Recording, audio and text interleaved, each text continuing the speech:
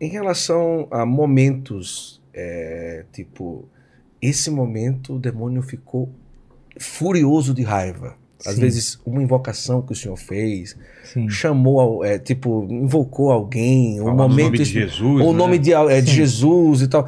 É, os maiores temores, porque o senhor, fala, o senhor falou, né? Então, Sim. é tipo, é, invocar a Deus, o texto e tal, sim, de uma sim. forma mais genérica, né? Certo.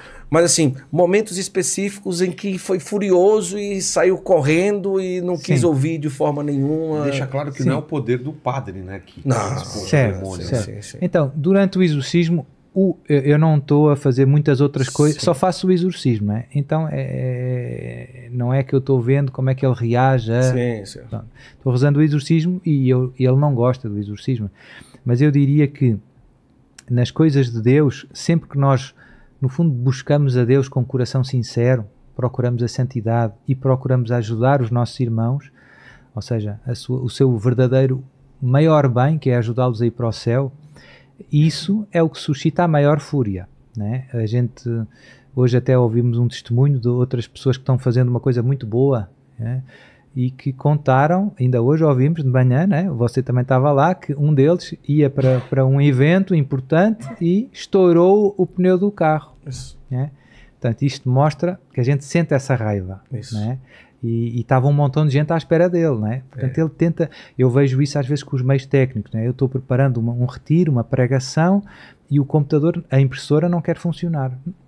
Às vezes, não é? Então tem que rezar, dar uma benção e já funciona. Né? Então a gente vê que, que ele quer, a minha mãe diz, colocar areia na engrenagem. Isso. Então, ele tenta, e isso mostra que ele não está contente, né? E a gente vê, a gente, quando ganha esta sensibilidade, a gente percebe nos relacionamentos, né? Ah, alguém ligou a dizer que afinal está com febre e já não vem, e não sei o quê. A gente percebe, hum, isto é, tem, tem a unha do inimigo, né? Ele está tentando jogar por terra. Eh, O que é que devemos fazer? Continuar, né? Rezar com humildade, no fim, no fim, Deus às vezes parece que é no limite. O estoura o pneu e depois estoura outro pneu é, e a gente quase que não dá, mas no fim dá. De uma forma prática, muita gente vê em filme, né? Tipo, exorcismo, né? Tal. Água benta. É, então, é, de uma forma prática, utiliza-se mesmo, por exemplo, cruz, sim. O- água, Sim. estola preta, a roxa. ou, desculpa, estola, estola roxa, Sim. é, é, É, roxa, é estola roxa, roxa, é, o que se vê no filme, Sim. até que ponto Latim, sim. é, sim, isso, é, até que ponto é verdade, até que ponto é, É. fantasia, Então, essa parte é verdade, ou seja, tudo isso se usa, a estola, o ritual, o- água e sal bentos e hum, pronto. e- Mas os filmes dão uma, uma, uma ideia muito deformada da realidade. Ou seja, aquilo é, é- eu uso muito a analogia da caricatura. Você se fizer a caricatura de alguém, você exagera muitos traços daquela. É. Mete um narizão, mete umas orelhas, parece o Dumbo, não é? Quer dizer, a gente reconhece a pessoa, mas aquilo não é uma foto. Aquilo está muito deformado. Então, os filmes de Hollywood são, deformam muito, né? E põem os diálogos com o exorcista, como, quer dizer, fazem dos diálogos com o demónio um filme, né? É. Não é verdade, não é? E fazem como que se o demónio estivesse confortável no exorcismo. Não é verdade. O demónio está tá mal, não é? Tá lutando. É.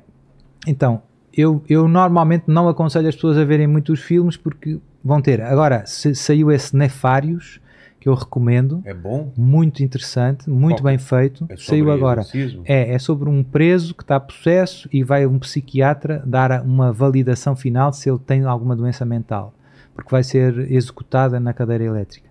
Então, aquilo é um filme muito interessante, não tanto para perceber o exorcismo, que não há exorcismo, mas para perceber a psicologia do diabo. Muito interessante. E depois, no Netflix tem um documentário sobre o Padre Gabriel à morte em que filmaram o exorcismo verdadeiro dele. é mais real, né? É, e esse, esse é real. Esse, esse filme, essa filmagem é de um exorcismo verdadeiro. Então aí tem uma imagem real. Embora tenha muita gente, é um- uma espécie de documentário, e então tem muitas pessoas entrevistadas que não acreditam muito no demónio, psiquiatras e tal. Então, quer dizer, aquele documentário tem lá alguns erros, mas os, as passagens filmadas em que está o padre Gabriel a rezar são verdadeiras. Uma coisa importante é isso. Qual é o nome do documentário? Qual é o nome do documentário? Você lembra? Não sei, não lembro. Ah, não não, lembro. acho que a Amorf é alguma coisa. Acho que É. tem o nome do padre Gabriel É, no documentário, ter. eu acho. Alguma coisa assim. É. Agora, isso é uma coisa importante, porque às vezes a pessoa pensa, um padre é exorcista. Sim. Ah, é porque ele é muito espiritual, é porque ele reza muito. Não, também, porque se não rezar na hora do exorcismo é um perigo, né, padre? Sim. É um perigo, né? É, às vezes até do, do demônio querer apontar alguma coisa ou condenar e tal.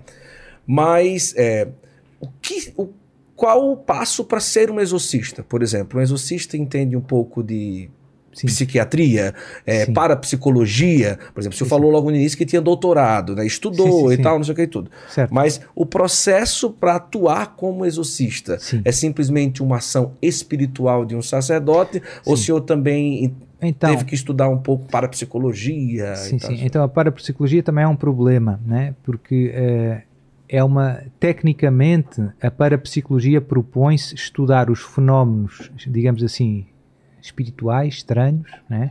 paranormais, com o método experimental. E, e isso é, tá, tá, fa- falhou à partida. É como se eu quisesse ver com o meu ouvido. O ouvido não vê, o- só o olho vê.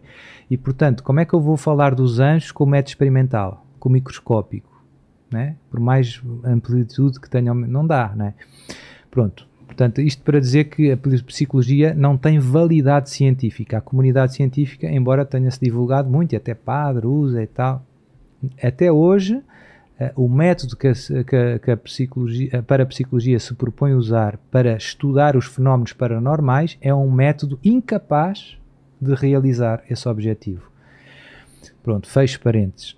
O Código de Direito Canónico, que é a lei eclesiástica, diz que o exorcista tem que ser nomeado com uma licença peculiar e expressa do bispo, né, do ordinário do lugar, e deve ser um sacerdote dotado de piedade, ou seja, um homem de Deus que reze, de ciência, ou seja, que tenha conhecimento, que tenha formação para aquilo, e também de prudência. né? Diz estas três coisas, penso que não diz mais nada. Né? Portanto, já, já nos dá uma pista, né? Tem, que ser um homem de oração, um homem de Deus, à partida todo o padre é, né? Ciência, estudar, preparar-se, né? Não, não, é como ao médico cirurgião, né? Você não vai abrir um coração sem, sem, sem estudar a ana- anatomia, né? Senão não dá, não dá certo. E prudência, porque no fundo é um ministério delicado, o demónio é esperto, sabe enganar e portanto não pode ser anjinho, né? Tem que ser anjinho no, no sentido de ingênuo, não pode ser ingênuo.